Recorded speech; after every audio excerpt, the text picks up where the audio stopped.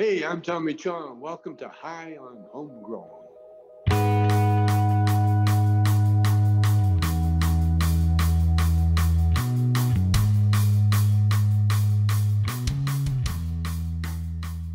Yes, yes, everybody, and welcome to High on Homegrown, the cannabis podcast from Percy'sGrowroom.com. In this week's episode, we're talking all about books to help you learn how to grow cannabis. This is books from people like Ed Rosenthal, Jorge Cervantes, Jeff Lowenfels, uh, Lizzie Post, even Jack Herer as well. We mentioned his book in this episode. So if you're looking to go out and buy some cannabis books, then here are some ideas for you. These are books that I own and the different panel members own, and books that we would recommend that you go out and buy as well. So enjoy. We have a lot of good listener mail questions at the end as well, so stay tuned for those. But for now, let's just get stuck in and get involved in this episode. I'll speak to you at the end of this. See you in a bit.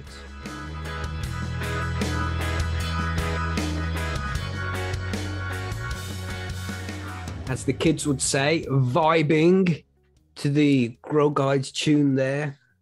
Hope everybody likes the Grow Guides tune. It's, nice, Vibing. cool tune. Vibing. This is one of the new words that the kids are using, bro. Get with the lingo, fam. It's not very original. No, What is nowadays, bro? It's 2022. Everything's That's what I recycled. mean. That's what I mean. God damn. I like being from where I'm from because that shit was original. And I'm saying? Good Yeah. times, man. The 90s were the best, weren't they? 90s were full of books too because there was very limited internet, if you remember. Indeed. That is correct. Yes. That's right. So these books you you speak of, what is a book, TG? Well, a book is what uh, me and my friend Greg used to refer to marijuana as when we would text each other. And we'd be like, hey, I went to the library. I got some new books, man. You want to come read them? And we used like, to call it food. We used to be like, yo, man, I'm hungry. You got any food? You know? yeah. And I'll get an example. here. Here's a here's a good this is the first grow book I ever bought, actually. And a closet cultivator by Ed Rosenthal. Sweet. cover, whole bunch of thinner pages with words on them, with an end thicker cover.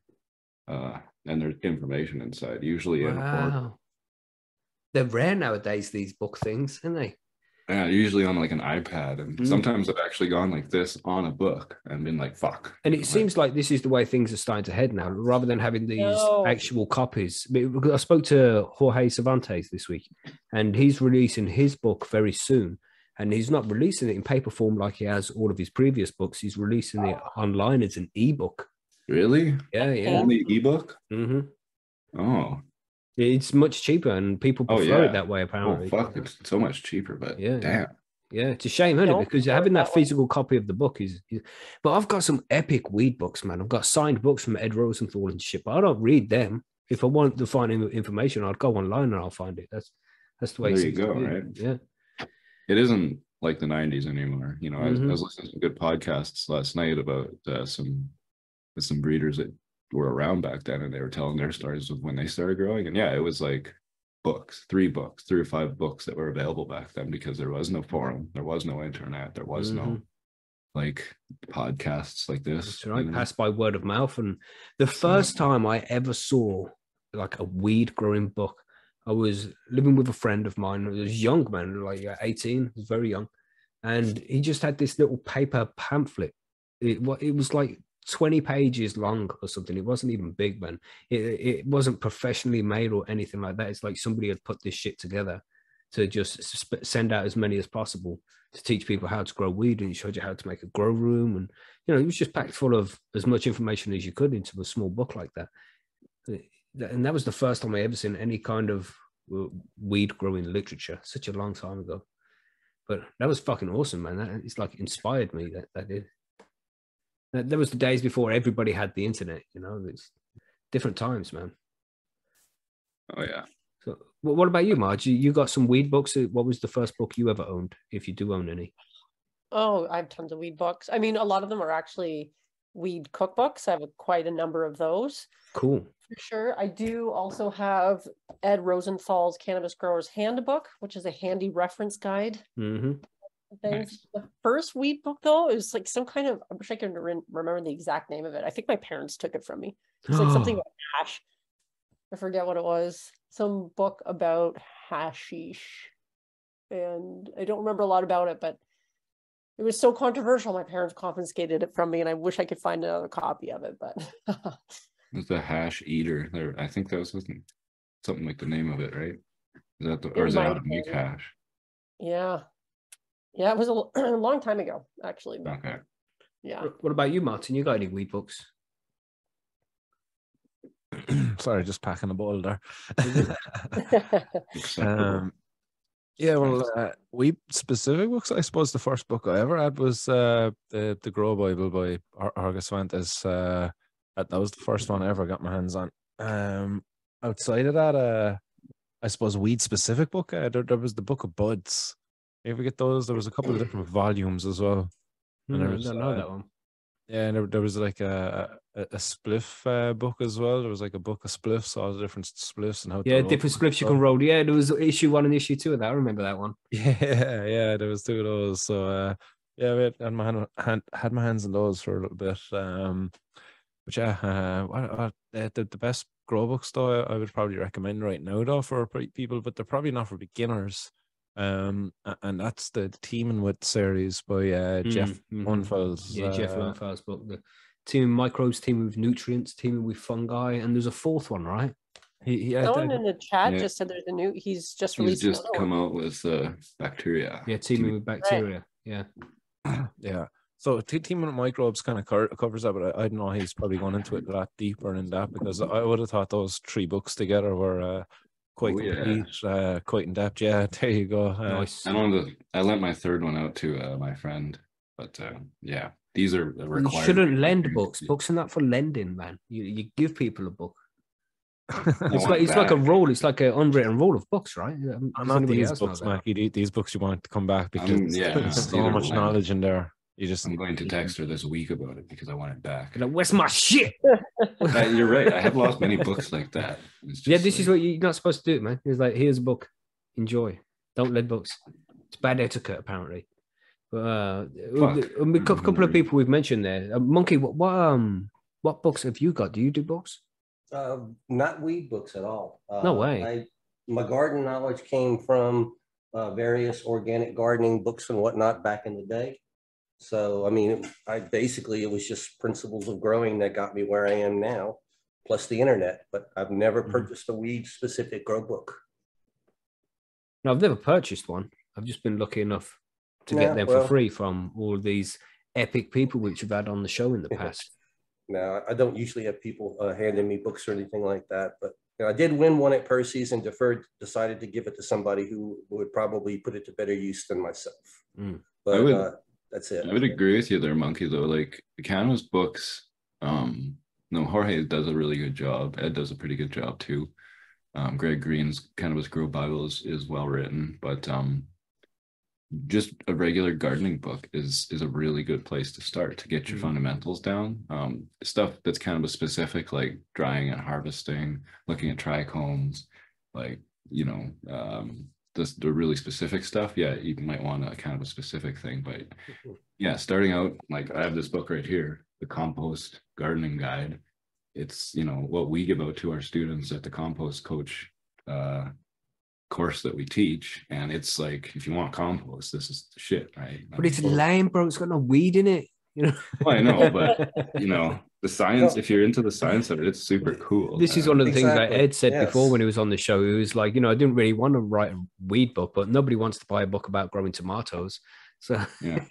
Yeah, but I mean, if you, if you know how to grow tomatoes well, you'll probably do well growing cannabis. Mm. That's right. So yeah, man. I mean, there's so many fucking books out there. Aren't there? There- There's a shitload, but there's some that stand out that like everybody has, like the Jorge Cervantes uh, Cannabis Encyclopedia, done with the purple cover. That's a fucking epic book, man. Seen right here, man. This is There it is. That's the one.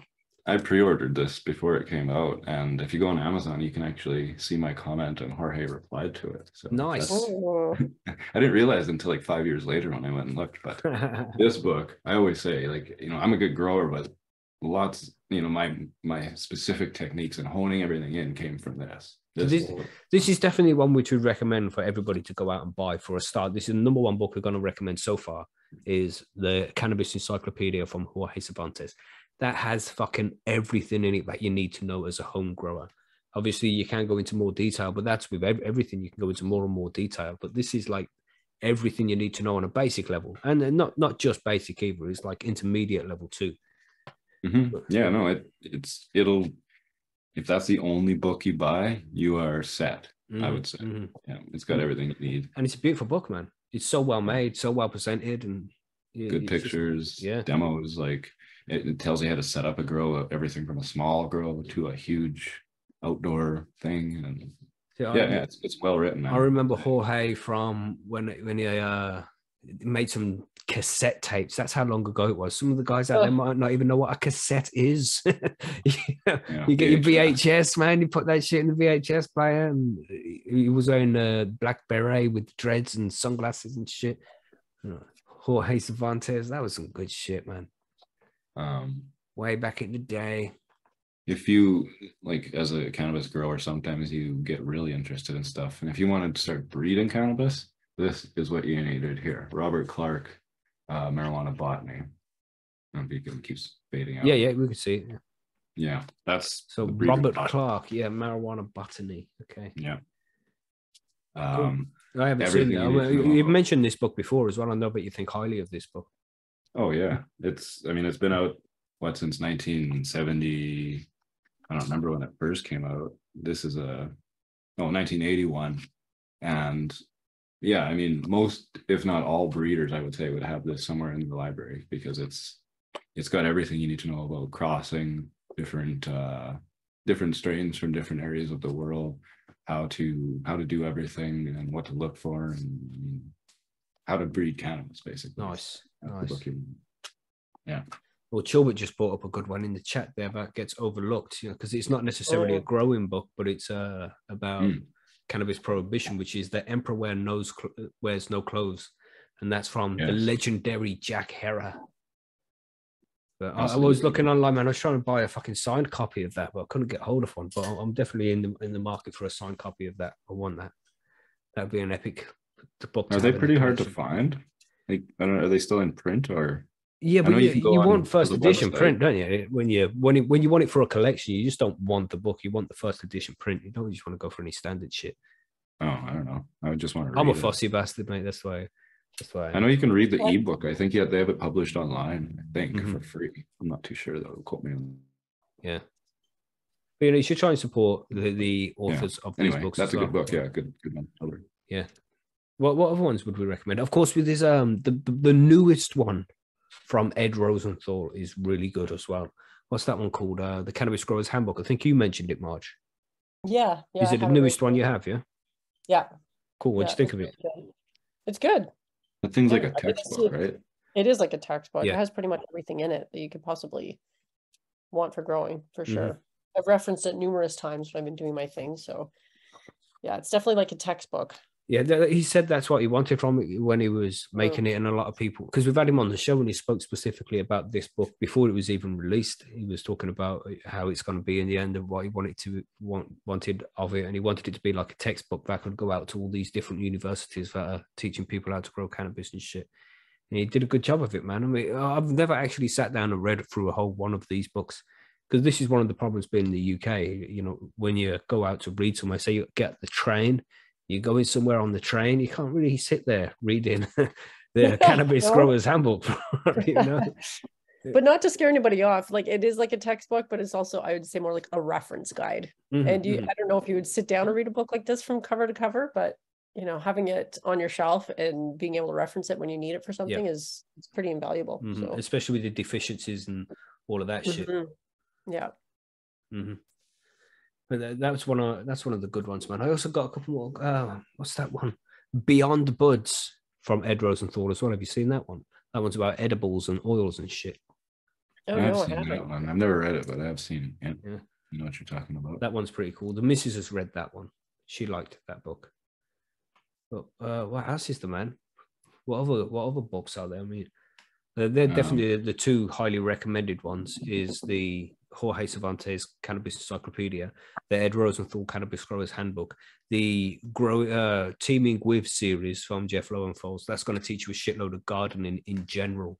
Never mind like just cannabis. It Yeah, teaches you a shitload about how soil works and that's definitely one you want to get into, so you know the, the most important stuff about that. Then I really like So- this. what you got there, This is a magazine called Grow. Uh, yeah, the Hemp and Cannabis Horticulture magazine. Grow Hmm, hmm. magazine. Um, I don't know if you guys ever subscribed to magazines back in the day, but I Back used in to the day I mean, Yes, when we had Yeah. trees. yeah, I really like magazines. I like getting Mhm. one in the mail and unwrapping it from the plastic and, and, and the smell of the the, The- fresh yeah, yeah, all of print, that. Yeah, yeah. the the ads and everything about magazines I love. And this magazine I really enjoy. Rob Clarke, the aforementioned uh, author of the Marijuana Botany, Mhm. he guests a lot as a guest author for articles in this magazine, as well as Todd McCormick, um, other large names in the industry.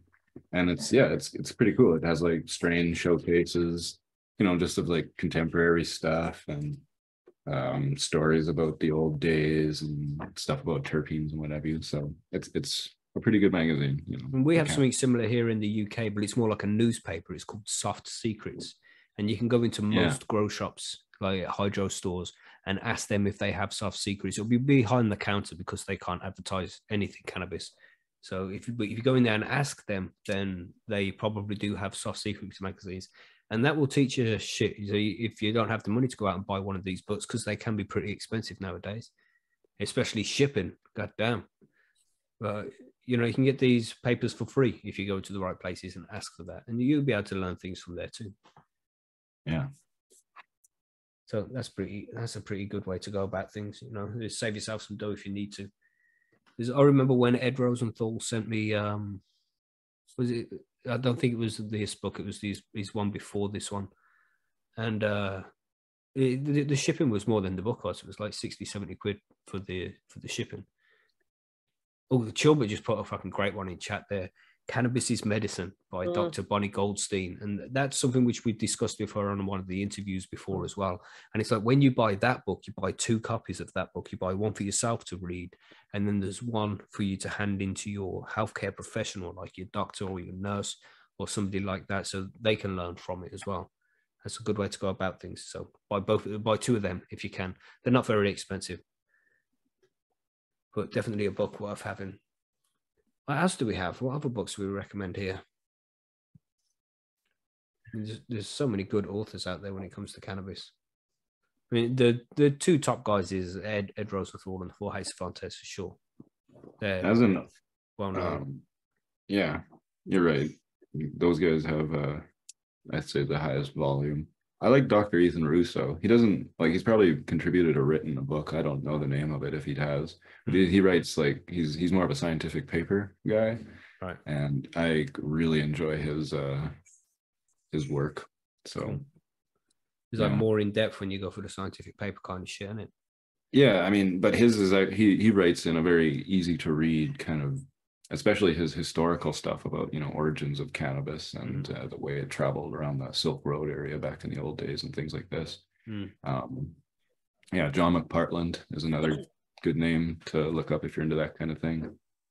Um, yeah, but uh, those two are are very good. It's so many books, man. Authors as well. But they're they're nice to have, you know, especially if you're in a legal place where you're allowed to have these books. That makes a difference as well. Because if you are not in a legal place, say you're in the UK, you you got this bookshelf full of cannabis, fucking books, and you get visitors come around your house. You can't really have them on display, you know, which is a shame. they're nice books, man. They're nice books. But definitely recommend the Jorge Cervantes Cannabis Encyclopedia, the Ed Rosenthal uh, Cannabis Growers Handbook. Uh, the Yeah. one you said, TG, about the breeding as well, marijuana botany from Dr. Clarke, yeah? Uh, I don't think he's not a doctor, but yeah, Right. uh, Robert Clarke, Robert Robert, Clarke. Connell Clarke Cool. with an E. And then the teaming with series, that's highly Yeah. recommended too. And then uh, and then the Dr. Bonnie Goldstein book as well. It's, it's like there's so many out there. Like you have to go and read these books, or at least try to read them. Some of them are a bit big, but you know, some of them are good for reference, like Marge says. You read the encyclopedia and the cannabis handbook. That that's good for reference. But the Mhm. Jeff Lowenfels series, that's good to read if you want to know about how all soil works and shit like that. Then they're, they're a good section of books to read through. And then um the political books like the Emperor has no the Emperor wears no clothes from Jack Herer. That's also a good book you can read as well. And there's there's so many books out there, man. It's it, it's uh, I mean, I would say endless, but of course, it's nothing's really endless. But there's so many fucking books to read out there. But if you want to read some cannabis books, then you, you spoke for choice, really. There's a lot for you to choose from. But, Yeah. And of course, the, the websites as well. There's lots of good websites out there. They're not necessarily books, but they still have a shitload of good information on them, especially like forums like, like. That's our forum. And just the diaries on there, the threads on there. There's um, proper articles that have been written on there as well. So there's still a lot for you to find online for absolutely free. You can just visit for free. You don't have to pay anything. You can learn as much as you can from there. And then you can get the newspapers and magazines. If you go to a grow shop, they probably have newspapers and magazines about growing cannabis, which you can get for absolutely free as well. You just ask them, scoop them up, and you know, read what you can. And you learn more from those as well. You learn more about, you know, different events that are going on, different bits of culture. It's not just a set informational book about, you know, how to grow specifically. Yeah. Uh, book book I used to love actually was uh, Soft Secrets. Remember that one? Yeah, yeah, I did mention that one, Soft Secrets. Yeah, I've written a few times for Soft Secrets. They've got a few articles of mine in in their magazines. Yeah, Which I've is pretty cool. in there before as well. It's pretty cool. But uh, what, what else is that? what else can we say about books? You got any Read 'em. interesting books to recommend there, Martin? Uh, no, not off the top of my head. Um, but my favorite book was always just that. Uh, I suppose the easiest uh, one was the Horace Fuentes Grow Bible. Mm. I thought that was like so complete and it was so simple as well. It explained things quite well for a first timer. Um, but yeah, all the other recommendations that came in there uh, are, are great as well. And there's so many new books coming out as well. I got um, uh, Dr. Dani Gordon's uh, Dani Gordon. Yeah, I think that's her name anyway. Again, um, Mhm. been a while since I had her out, but uh, she Yeah, she's been she's on the show in a couple of weeks. Oh yeah, excellent.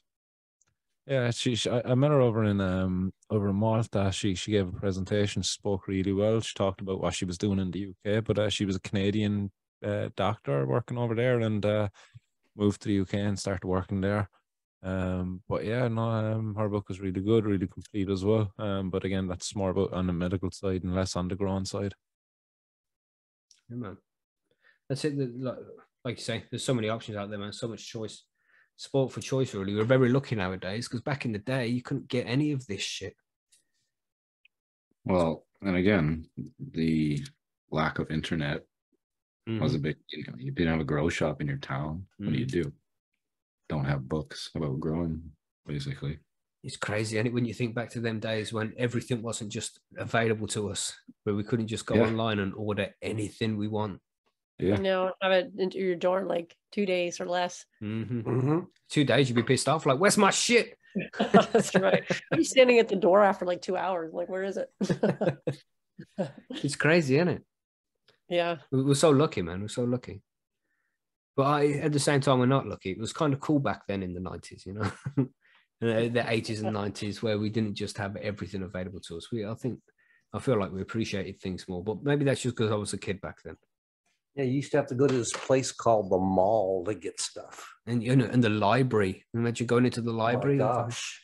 And what Yeah. book did I see? Um, uh, I went into Waterstones, which is a big uh, book shop, big bookstore here in the UK. You know, there's loads of stores, Waterstones stores all over the UK.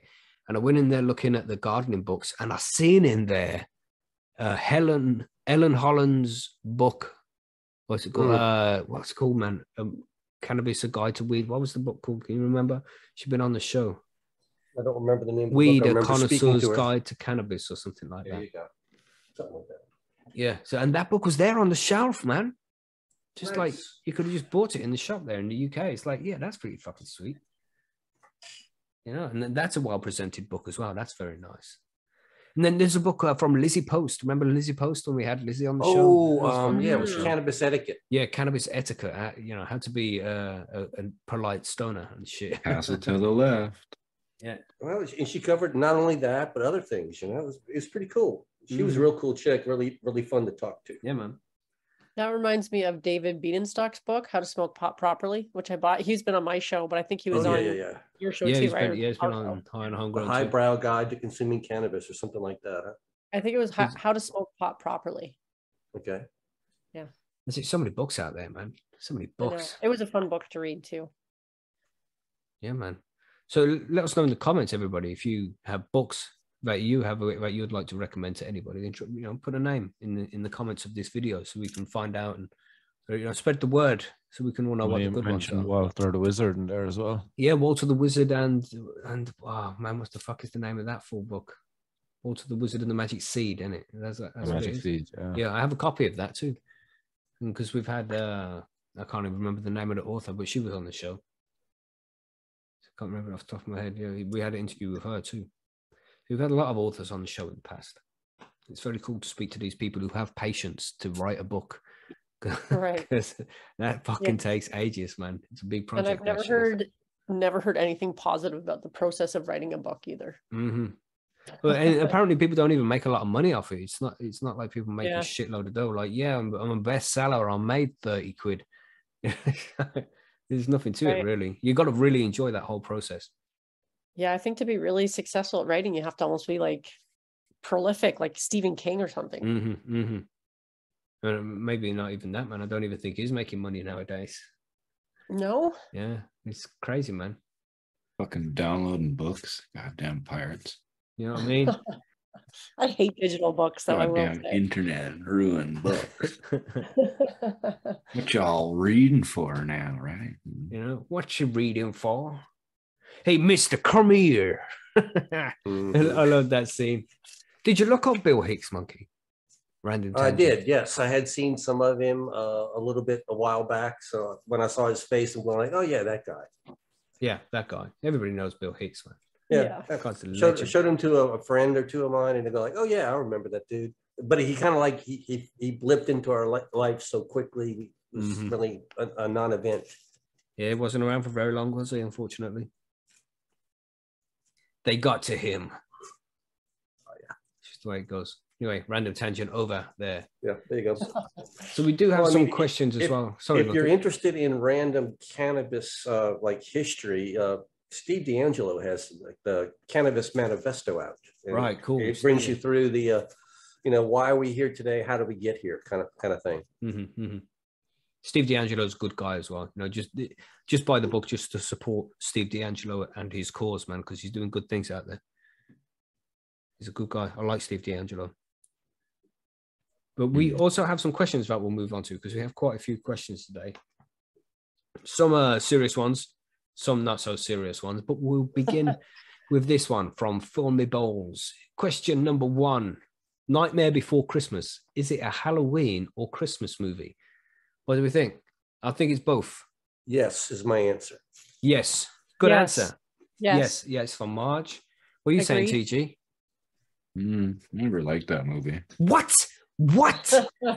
Yeah, no, it's what all the you know, fucking everybody's got their stupid Jack Skeleton fucking bags and shit.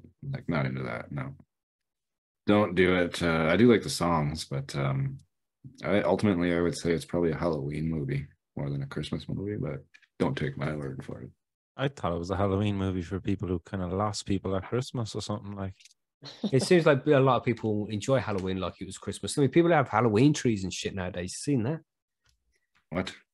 Yeah, decorate a tree for Halloween. Decorate a tree. Really? Yeah, for Halloween. Strange. Why? Strange. I don't know why, bro. Toilet paper or what? Like, like Fuck. spider webs and Halloweeny things. oh yeah, that make. I mean, yeah.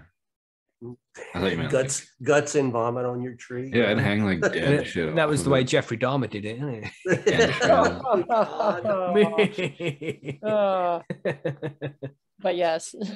Yeah, it was definitely a Christmas movie. It was released on the 16th of December. Christmas movie. Is that the criteria for a Christmas movie? Then is it Martin? Then it- Die Hard is not a Christmas uh-huh. movie. Well, if it was a Halloween movie, it was released a hell of a lot early. Yeah. or just late. Yeah, it takes a long time to make them, them Oh, kind of movies. if it was if it was Boyd, he definitely would have released it just before Halloween, like and hit Halloween and Christmas. But it was like December 16th. That was hitting that Christmas audience. That, that was like a stocking filler for that Christmas. So, what was the consensus here then? Were we saying yes? I think it was yes. So, yeah, the question was Nightmare Before Christmas is a is it a Halloween movie or a Christmas movie? Yes, is the answer to that, Phil. All right. So, question number two: If I give out candy canes on Halloween, will that make them officially Halloween candy, or are they still Christmas candy? You know, that would Wait be a pretty minute. fun to do, actually. the question is, when an did you buy? When did you buy them? Last Christmas? right. Actually, you could probably buy them now because everywhere I go, I see Christmas shit out right oh, now. Oh That's God! Don't get me started again, Marge. I did a rant a couple of episodes about this shit. I Yeah, thought he just no, had crazy. leftover stuff from last Christmas he wants to get rid of. So hey, give them to the kids this year. Yeah, yeah. It, it's ninety percent preservatives anyway. It'd be fine. There's no date on them, funny. so what the heck, you know? Supposed to taste. I feel like though, if I got if I got candy canes in my Chris in my in my bag from Halloween, like looking back back in the day, I'd be like, "What the fuck is this?" exactly. exactly. I mean, they're not the best these? candy either. You know, they're just a mint stick. So Yeah, you I- exactly. I like them, man. I like them. It's Well, but it one of the few things I like. You can't eat that many though. You're not like fucking shoving your face full of candy canes like Yeah, you you are with can't Mars gorge bars. on right? candy canes. No. Oh my No. God! It's Christmas. I can't wait to have candy canes back in the store. No, I know. No one says that. No, nobody No. does. I've never Eggnog. seen anybody filling up their, their buggy and, and store full of candy canes and running to the Right. cashier. Never. And then to finish this off here from Phil, he says, I just like listening to you guys debate what is or what's not a Christmas movie. P.S. I don't think Die Hard movie or Gremlins movie are Christmas movies. Now, mate, no, Phil. I discussed this briefly on the forum. You're not going to make any friends talking like that, Phil. No, That's man. crazy no, no. talk. I mean, we, I got we got ammunition for the Die Hard answer that when we found out that it was released in July. Yeah, that So kind of fucked me up. that up. kind of that- messed that- your Right. argument way Yeah, up, man. you know, I've never even considered that as criteria, but I'm glad Martin brought that up because Mhm. That's you know, I mean, not that the industry knows best, but that's obvious. They they're pretty fucking smart. You know, But then again, it's like people do celebrate Christmas in July nowadays. It's fucking crazy, man. you know, know, the that's when Jesus decorations come out. Born right. Allegedly, allegedly. Christmas in July sales in, in the US, you know, all of, all the time. But yeah, Yeah. I I still think Die Hard is a Christmas movie, which is definitely up for debate, and you know that debate will never be over. But when it comes to Gremlins, bro, Gremlins, Gremlins is a Christmas movie, man. There's no, it's absolutely the the, the actual thing. The Mogwai Gizmo was a Christmas present, bro. He was he was Is that what Christmas makes it a shopping. It started movie? Christmas For shopping. Sure, for sure, man. I always say Christmas movie has to like you know somehow had show snow you in the it. Spirit of Christmas. Does I don't remember. snow in it. Does it Gremlins? I don't know. Uh, or do they just like and then that No. chick tells that that dark ass fucking Christmas story in it. Remember, remember the, and she's sitting there and she's got that glazed look up on her face and she starts telling the story about how her dad went missing for uh it, it was oh, Christmas oh, yeah, Eve. they- Her in the dad went missing. Yeah, the chimney story. You know what I'm saying? And then there was a funny smell coming from the chimney. So they got somebody out to come look at it a few days after Christmas because they thought it was a dead pigeon or something. But it wasn't. It was her dad dressed up as Santa who tried to get down the chimney. It's like, God damn, that's a bit dark, that is. You know, for is it a kids movie? I'd say well, it's a kids movie, and it's PG You're talking about the thirteen. original, the original Gremlins. Yeah, Like, the I original Gremlins. movie man. like it's like twenty years old. Oh no, so like forty years old, man. That shit came out in the fucking eighties or is it? something. Yeah, Jesus so Christ, I'm old. that's another Googleable one. Googleable. yeah, you're It probably right, but It's it's uh it's like I still think of the '90s as being like I don't know, ten years ago. yeah yeah yeah. Yeah, That's yeah. right. so When was Gremlins that's released? definitely not the case. God damn. yeah, don't remind me. Don't remind me. The seventh of December, nineteen eighty four. So it's Oh. thirty eight Christmas. years old this year. Wow. Wow. Uh, wow. uh, I'm not feeling so good. No, but that was only ten years ago, right? Right, Right. Right. Cool. Cool. It's all good. yeah. That's Right. it. I'm glad we can all agree on that. right. We all agree that it must true. So we have another question here from Fulmy Bowles, which is more cannabis related. He said, uh, which would you rather prefer, pumpkin spice or pumpkin pie?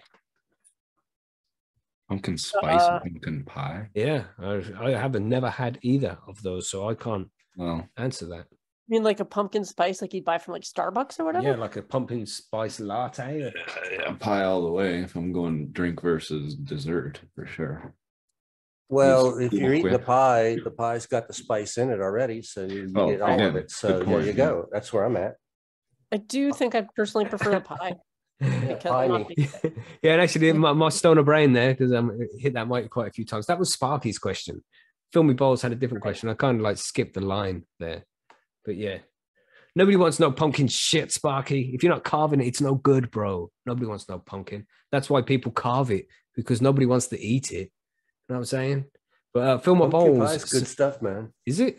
It as I is. said, I've never I had love it. so- pumpkin pie. It's like You ever had probably my pumpkin favorite pie. No, no, I've never had Have pumpkin. you had sweet What? potato pie? What? Uh, I don't think I've had sweet potato pie. either, Because it's very Oh. similar to that, but uh, Mackie, you got to Yeah. try pumpkin pie. You d- how, and, and infused pumpkin pie.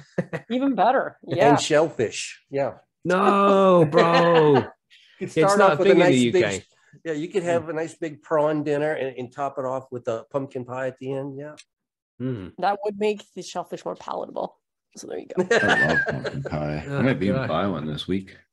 Oh, I, am gonna have to go and check it out, see if we can find someone. I'll It's have to try. it. It's gonna be expensive, but I don't give a shit. But you know, the smell of pumpkin, it just it doesn't smell delicious, man. It doesn't smell delicious. It's different once it's cooked. Yeah, I suppose so. Completely. right. And you add like a fuck ton of sugar and paste or, and, And pumpkin spice. And pumpkin spice. Yeah. But we we do have a cannabis related question here from Phil, which uh, he says, "What part of the joint is the best, first hit or near the end? Which one do you prefer?" What are you saying, First hit. Monkey? Well, if I'm growing my own, I want the first hit off of it. Mhm. Uh, back in the day when I was probably would have taken one of the later hits because it was stronger. Back when the weed wasn't Mhm. quite as strong, you got more resin in the back end. Yeah. So nowadays, I want the first hit. So you said there, Martin. You said the first hit. First, yeah, yeah, first it. Yeah. Yeah, it's always the tastiest. Mm-mm-mm. Yeah. What about you, Marge? What are you having? I'd probably have to say the first hit too, because I often don't make it to the end because I also hardly ever smoke joints. So, Nice. yeah. What about you, TG? Uh, well, if you smoke the weed that I smoke, it doesn't matter where it is because it all tastes fucking good. Mhm. You got that oil line just like moving its way back down the joint, dripping on your fucking fingers, just like oozing out of that shit. Like, uh, but uh, I don't know.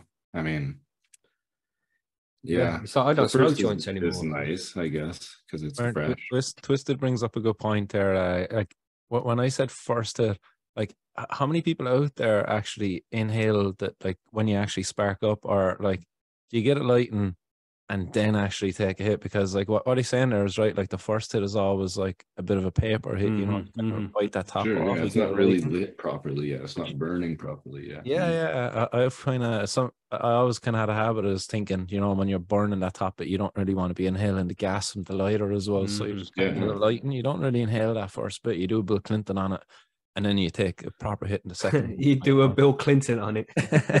yeah, you don't inhale. I mean, not to sound like an elitist or something, but good weed should last to the end Mhm, mhm. in terms of. That's one of the uh the criteria which Danny Danko checks when he's doing the judging for the cannabis cups to see Sure. if the if the spliff tastes the same at the start and the and the finish. We when we talked to Swami, he said the same thing. One of the Mhm. criteria they use in the Emerald Cup is how does it taste now, a little bit here, here, Mhm, all the way mhm. through, right? And does it retain its taste all the way through, or does it just taste like burning by the end of it, or whatever? So yeah, there you go, everybody. Well, there you go. Uh, but it's Filmy not more on how it's rolled, though, rather than the, the actual weed in itself. Like. Um, my son showed me a picture on his phone, right? He showed Maybe. his mother a picture on his phone and then was like, go and show your dad that. And so he's come and showed me his phone. And there was three joints in a glasses case. You know, the case put glasses in, like the spectacles, then, then kind of hard cases. And his friend had sent him a picture and she had got these three joints for 60 fucking pound. And they, they were like rolled so bad. Oh no. It's like it, it, it brought a tear to my eye to know that these these. uh, Well, I don't think my boy's going to be involved in that, but you know, his friend is going to be smoking those fucking things, and this could possibly be one of their first experiences of cannabis. And they have to fucking because remember them days when you're first learning and you had to learn how to roll and shit, and it was dire. It Look was at this dire. roll. That's My a joint legal was jump. That's Wait. a one. I mean, they don't all look like that, but that's a What hilarious. the actual fuck is that? Like a one, a one hit yeah. Yeah, that's short one, yeah. A one hit Surprisingly, it did weigh a half gram, like it said, but uh, I think they put some like lead paint or something in it. You know, For the Uh, extra dense hit. It's so small and It's dumb. like a that- roach. The roach is nearly the length of the joint. Like You know, if you got facial hair, hmm. you're burning it off lighting up that joint. Oh man, look, I can still remember back in the day trying to spark the roach. Yeah. You know, trying not to burn your lips with a lighter, trying to get it lit. Good Martin's times. laughing. man. You've done it too, man. We've Yeah, we've all done been there. We've all been there. But The pre-growing days, isn't it? Because nowadays, uh, if you've got Yeah, your own, Nowadays, oh, you won't get that close. Throw it away. Bye. Oh, just Yeah. roll another one. There you Next. go. And we're so spoiled these days. I'm just thinking of the old days, you know, when you're you're uh, with the green Rizlas and like Oh, you, you God. kill somebody if they opened your packet and went in for the green little cardboard piece Yep, at the back, mhm. like, you know, The roach card at the back. the Yeah. roach The, card, the green you're trying to- card. But you're trying to make as many roaches off as you can. I think I used to like have a way of making almost four roaches off of that little green roach card at the back. Like Damn. And now we get to use pretty much one for our roaches. They're all one whole roach, like yeah, perforated and all, like you know. you know, perforate where the fold should be Uh. to make the M in the roach. We're so lucky. Uh, and MW actually, when you roll it, it's MW for Martin's World. Just so Oh, you is that what it is? Oh, Ah, okay. I Yeah. I see what you're saying. Yeah. I didn't realize that until now. You got copyright on that or something? Exclusivity, yeah. Exclusive. Martin's right, I World can't put a Papers. W in there no more. If you hold it this way, it's an M. If you hold it that way, it's a W. Look at that. I'll have to fold one less time and just do an N instead of a W. Yeah. then you don't get charged. That's it. Yeah. So we have another question from Woody here. Woody's got a, a proper a weird ground question, like an actual question. He said, uh, "How far will male pollen travel?" Speaking personally, I know I've got pretty far. I know I've gone pretty far for some tail, but how determined is this pollen stuff? Will it get drunk and make promises it's not planning on keeping, just to get to those pure soft white hairs and mess them up a bit? Yes, yes, Woody. uh, looking into chastity belts at the moment, but I'm not sure about installation. So, what kind of distances are we talking here? Should I build a wall? If I put males in the basement and females upstairs behind closed doors, will that stop the coitus? Bazinga. TG, this your kind of uh, thing, man. How, how, do you keep Yeah. your, your males and females separate? Yeah, it's a good question. Um, and I would say the answer is good. Good luck. Um, even if you're in the same house, well, especially if you're staying in the same house with, you know, an internal circulation of air somehow, whether it's your furnace or just air movement and stuff around the place, you're probably gonna run into some cross contamination, like especially um, if you don't take steps like have a carbon filter with really you know a really good exhaust filtration setup to uh, filter that pollen. I've um for these actually i'm picking them out right now as i speak. These f2 crystalline entities i made i used two tents in the same room with two fully you know shitting out pollen everywhere males in those two tents and i did pretty good in terms of uh, keeping the pollen inside. Um, but uh, there was a bit of contamination in my one tent uh, because yeah like it's it's almost impossible Mhm. to keep it under wraps And it can travel on your clothes and shit as well, right? If you visit the males and the, the pollen gets on your clothes and you visit the females, then it's going to I jump mean, off your clothes onto the plants. yeah it probably yeah it's pretty delicate stuff but yeah Mhm. and in terms of how far can it travel outside um But not far because the sunlight gets to it, right? And the, the UV No, sunlight bakes it. I mean, that I don't know exactly how like how much UV and sunlight will degrade pollen to the point where it's not effective anymore, but I do know I got pollinated like a bitch in my backyard, and there's Mhm. not a, a hemp farm that And- they're at least three, four kilometers away from me. Yeah, I've heard stories about uh, plants in Spain and that having pollen travel over to Gibraltar and pollinating plants over there. So, and that's traveling like over a small ocean. So, a small Yeah, piece of the that ocean. depend on the conditions, like uh, Mhm. where, where the plants are, what, what the wind is like, and Mhm. Yeah. how heavy their pollen or how heavy the pollen is that they're dropping at, at a time when you know is the wind blowing at that time. What's the humidity? Because humidity will kill the pollen, and yeah, you got to watch everything. Yeah, Yeah. it's so light it can travel on your imagination alone. I agree. that- Suggestion would be like It know. almost can, man, because you know, if you've ever tried to do a small, like a one bud pollination, when you when you tap that Q-tip on that on that Mhm. bud, you can see the grains just float. so. Exactly. It's like I only want to get the one. best just to go in a different, you know, like what I usually do now is I'll take my male and my female that I'm working on out to my garage Mhm. and then, you know, wait for the male to kind of open up out there and then do my thing there. So it's like Mhm. you know, isolated. Yeah. Um, but um No, but you just want to do like a, a a, uh, small scale pollination, like maybe just one bud for a few seeds and let everything else just go, go pretty much seedless is what I'm Yeah. referring to.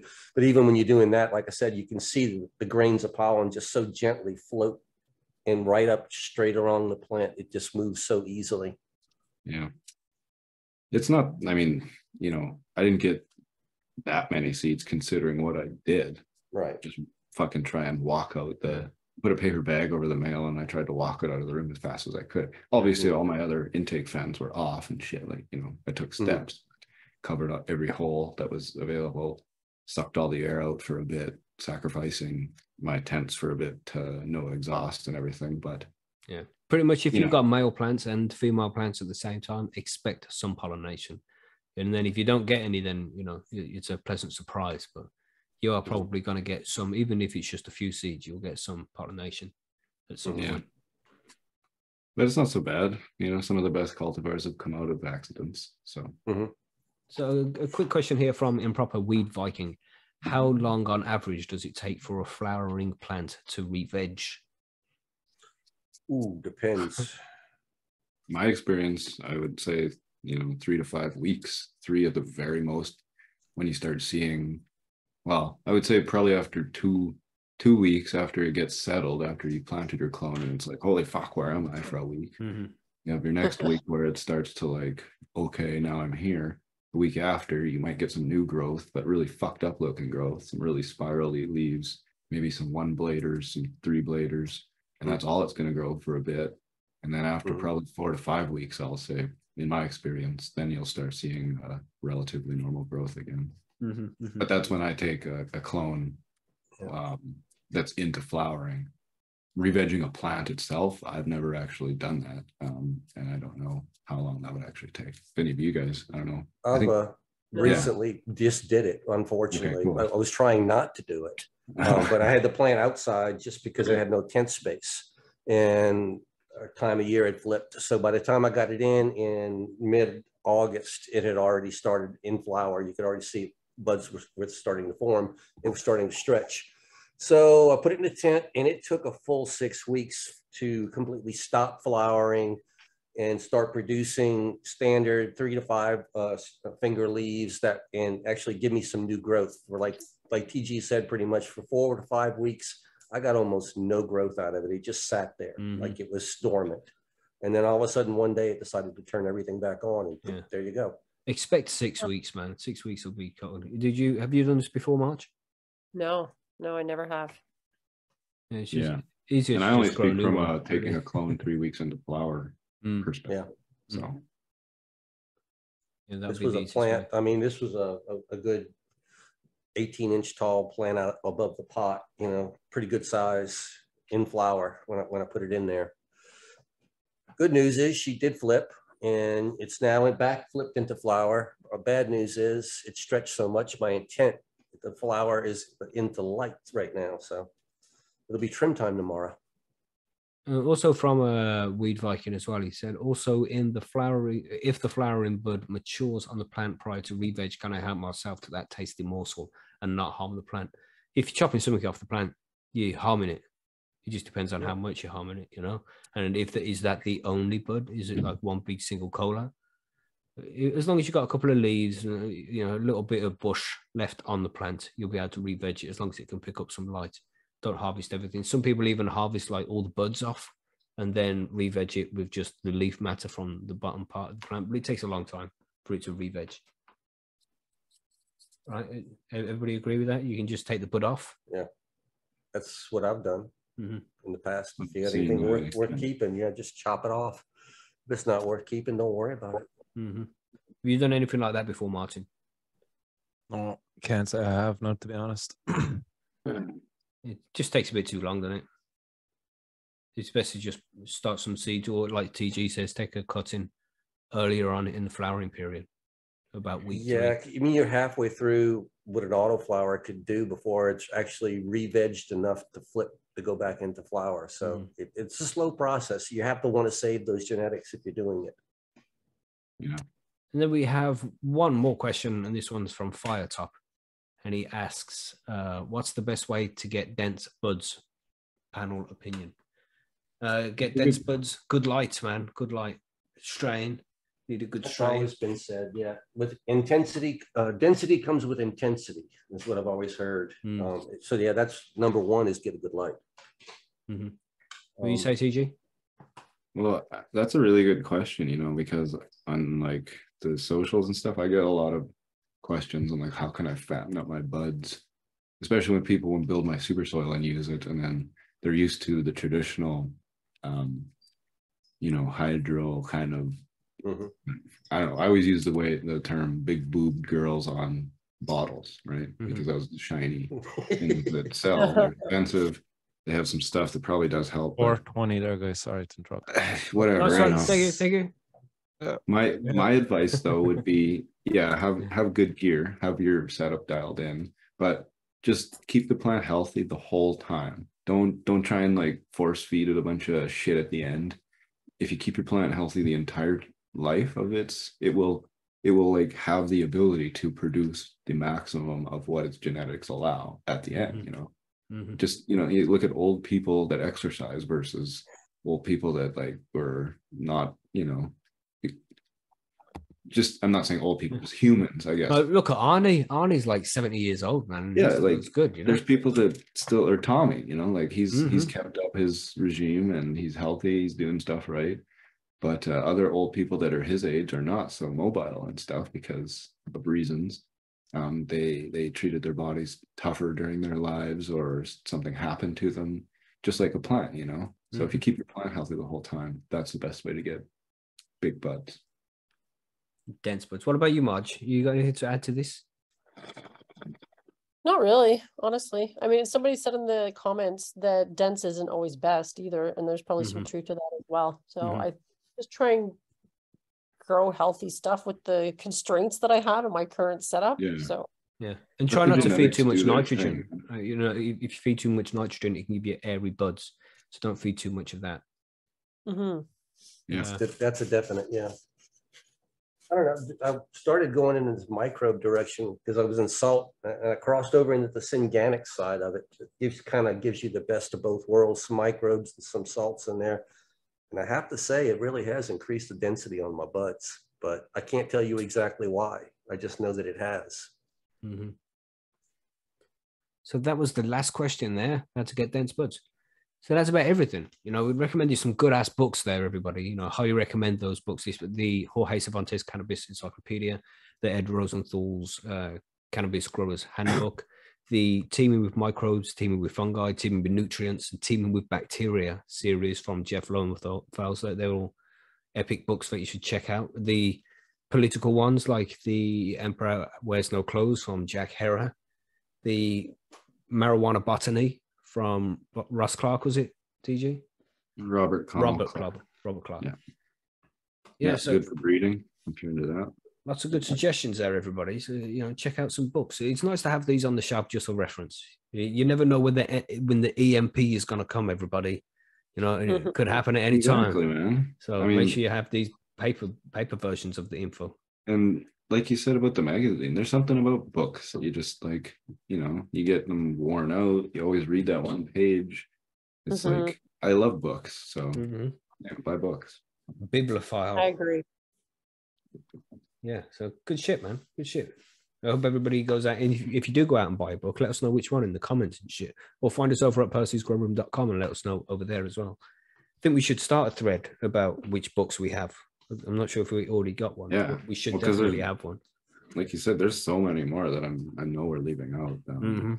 it'd be cool to like have a big repository that you could go to and And There's a uh, thread at Percy's somewhere yeah. about that. I do remember reading about it. Yeah, we, we Sure hit 100k posts the other day on Percy, so it's hard to We find did. things now. You know, use the is, search box, everybody.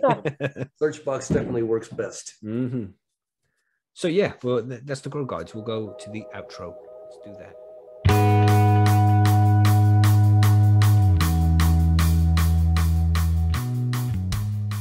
And there we go, everybody. That was this week's Grow Guides. If you want to go out and buy any of these books, you can probably find them all on Amazon, but it's always best to try and find it fro- directly from the author. And if you email Jorge or Ed or Jeff Lowenfels or anybody who writes these books, they might even be able to sign the book for you and then send it out to you if you ask them. So if that's something you're interested in, make sure you go check that out as well.